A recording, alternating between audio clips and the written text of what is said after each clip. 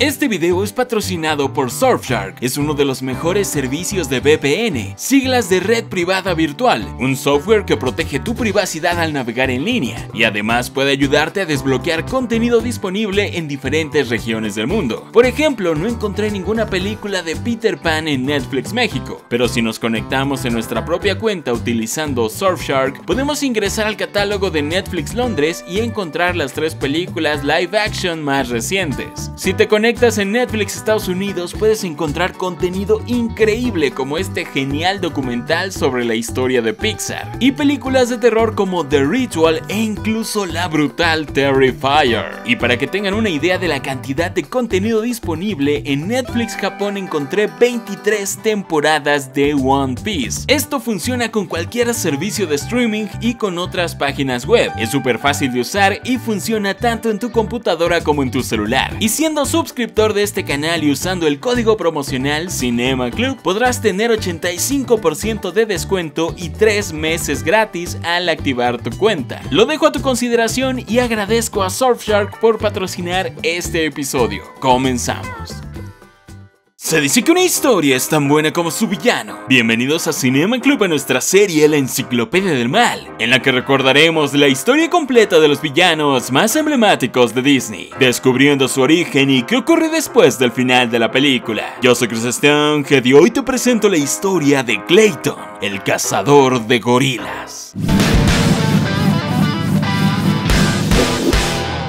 Desde hace más de 100 años, la historia de Tarzán, el hombre mono, ha sido llevada a la gran pantalla. A la fecha existen alrededor de 50 películas que cuentan su historia, siendo uno de los personajes ficticios más famosos y reconocibles de la cultura popular, debutando en el cine mudo, pasando del blanco y negro al color, siendo interpretado por grandes actores, como el actor y nadador ganador de 6 medallas olímpicas Johnny Weissmuller, en los 80s por Chris Christopher Lambert y hasta el actor Alexander Skarsgård, y eso sin contar sus apariciones en radio, teatro y televisión. Sin embargo, la imagen de Tarzán en el colectivo popular cambiaría radicalmente tras el estreno en 1999 de la adaptación animada de Disney. La historia original de Tarzán se cuenta en la serie de 24 libros escrita por Edgar Rice Burroughs, publicada entre los años 1912 y 1965. La cual es considerada como un clásico de la literatura universal. A pesar de que la película de Disney se basa en estas novelas, es una adaptación bastante libre, siendo una reinterpretación que aligera la trama manteniendo la esencia básica de la historia, aunque podría decirse que los personajes y la historia principal se cambiaron casi por completo. Tal es el caso del antagonista de la película. Lo primero que tenemos que dejar en claro es que el verdadero nombre de Tarzán es John Clayton II,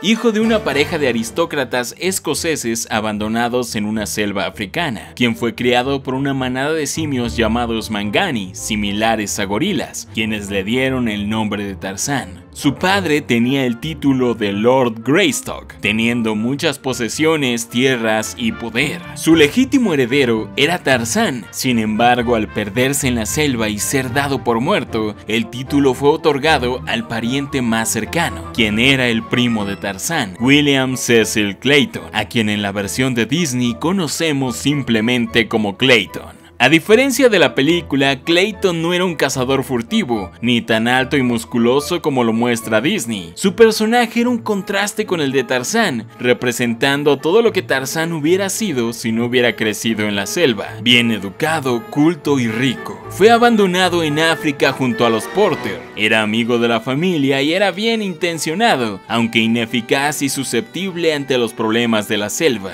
Era el interés romántico de Jane, aunque al aparecer Tarzán quedó rezagado, ya que el hombre mono era físicamente y moralmente superior. Al regresar a la civilización y tras una serie de acontecimientos, William le pide matrimonio a Jane, quien aceptó nerviosamente y sumamente confundida. Tarzán se hace un lado al pensar que William era alguien mejor para Jane. William descubrió un documento que comprobaba la verdadera identidad de Tarzán y con miedo de que le quitara su título y a su prometida, ocultó la verdad. Al notar que Jane estaba enamorada de Tarzán, comenzó a presionarla para adelantar la fecha de la boda. En el libro El regreso de Tarzán, William naufraga en las costas de África y es abandonado a su suerte por el villano Nicholas Rockoff, quien por cierto aparece en la serie animada de Disney. William muere debido al hambre y a la fiebre, aunque se redime revelando la verdadera identidad de Tarzán y liberando a Jane de su compromiso. Como podrán notar, la versión de Disney es muy diferente, desde el simple hecho que Clayton es mayor que Tarzán, cuando en los libros es más joven, aunque también existe ese contraste con el personaje de Tarzán. Uno de ellos mata a los animales y está corrompido por el dinero, mientras que el otro vive en armonía con la naturaleza. Convirtieron a Clayton en cazador y lo hicieron físicamente imponente para que fuera más amenazador. También le dieron la apariencia del hombre galán, macho y cínico de la época de oro de Hollywood, musculoso, apuesto, con un buen peinado y un bigote estilizado, y le dieron los hábitos de la época como beber vino y fumar con pipa, todo basándose en los actores John Barrymore y Clark Gable.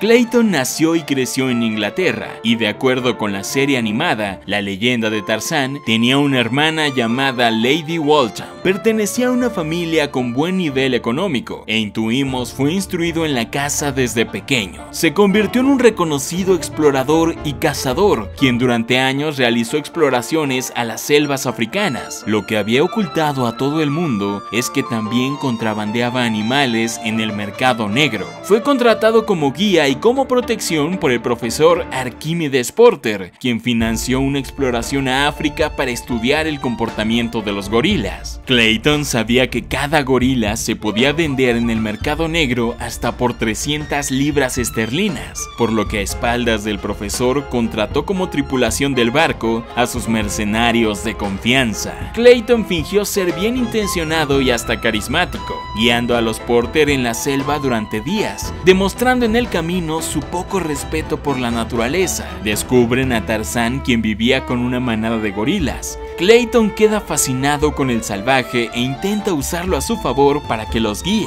y durante un tiempo intentó enseñarle a comunicarse para que revelara la ubicación del nido de gorilas. En ese tiempo Tarzan analizó su comportamiento e incluso imitó su postura y su forma de caminar. La expedición estaba por terminar, por lo que tenían que regresar a Inglaterra. Clayton se aprovechó de que Tarzan se había enamorado de Jane para convencerlo que los llevara con los gorilas. En el nido Clayton estuvo a punto de dispararle a un joven primate, lo que ocasionó la ira de Kershak, el gigantesco lomo plateado líder de la manada. Tarzan tuvo que enfrentarlo para que lograran escapar. Tarzan se iría con ellos de regreso a la civilización, y ahí es donde Clayton reveló sus verdaderas intenciones. Se amotinó, apresó a Tarzan y a los Porter y condujo a los mercenarios hasta el nido para enjaular a los gorilas. Justo cuando estaba por dispararle a Kershak, Tarzan llegó para enfrentarlo. En la batalla final le disparó a Tarzán, aunque la bala solo rozó su brazo. Kershak defendió a su hijo y Clayton lo hirió de muerte. Dejó inconsciente a Jane quien quiso detenerlo y finalmente se enfrentó a Tarzán, quien lo desarmó y le apuntó con su rifle. A Clayton le divirtió la idea que Tarzán al fin comprendiera el poder de las armas, de la destrucción, y lo reta a jalar el gatillo y convertirse plenamente en un hombre. Tarzán demuestra no ser igual a él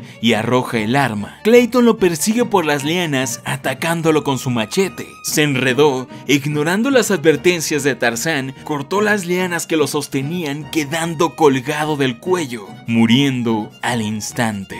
Cabe señalar que esta es considerada una de las muertes más gráficas de Disney, representando la muerte del cazador por su propia mano, sumergido en su avaricia, odio y poco respeto por la naturaleza. De hecho, existe una escena eliminada que nos muestra que la batalla final sería a bordo de un barco, con más armas de fuego y con una lucha más violenta. Tarzan le perdonaría la vida a Clayton, quien moriría en la explosión del barco. Clayton fue interpretado originalmente por el actor inglés Brian Blessed.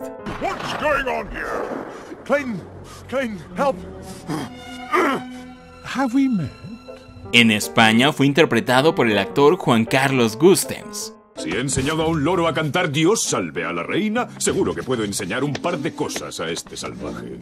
Y el locutor y actor de doblaje Christopher Smith daría voz al personaje en Latinoamérica. Viven en Disculpen, pero estas son bestias salvajes. Les arrancarían la cabeza antes de saludar. Y bueno, esa fue la historia de Clayton tanto en los libros como en la película. Un personaje que a pesar de ser malvado y avaricioso, es recordado con mucho cariño. Y sin duda, la construcción del personaje es muy interesante. Cómo es presentado con movimientos sigilosos y con un atuendo amarillo, al igual que Leopardo Sabor, para que el público lo identifique como la nueva gran amenaza. Sin duda, es un personaje increíble. Déjenme en los comentarios al villano que les gustaría ver próximamente en la Enciclopedia del Mal. Les recuerdo que ya descubrimos la historia de todos estos clásicos villanos de Disney, y podrán elegir al próximo villano siguiéndonos en Instagram y votando en las encuestas. Recuerden que al llegar a los 10.000 seguidores en Instagram subiré el video de Chernobyl y estamos muy cerca de alcanzar esta meta. Y al llegar a los 200.000 suscriptores en el canal comenzaré con la sección La Enciclopedia del Bien. Quiero agradecer nuevamente a Surfshark por patrocinar este episodio. Recuerden que toda la información al respecto está en la descripción del video. Yo soy Chris Stone, que esto es la Enciclopedia del Mal de Cinema Club. Nos vemos y nos escuchamos la próxima.